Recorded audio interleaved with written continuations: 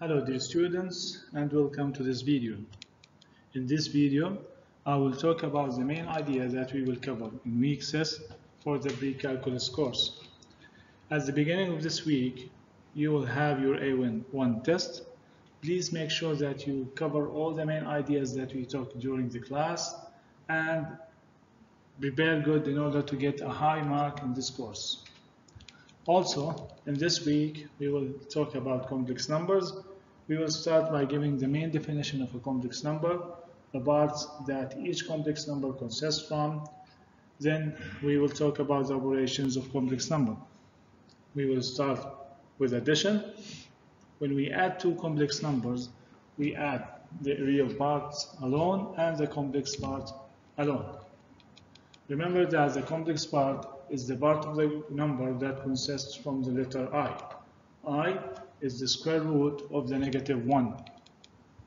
Also, we will cover the subtraction between two complex numbers.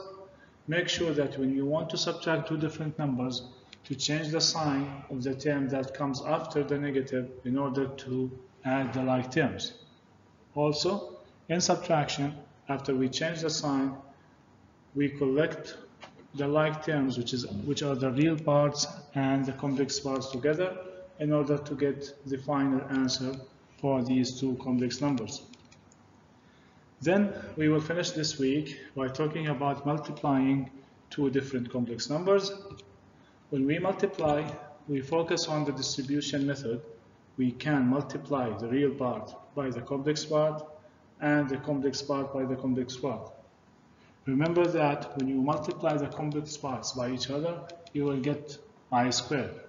I squared is equal to negative 1. After you finish multiplying, you have to make sure that you collect all the like terms and write the final answer for the multiplication. I want to thank you for listening and I can't wait to see you in the class.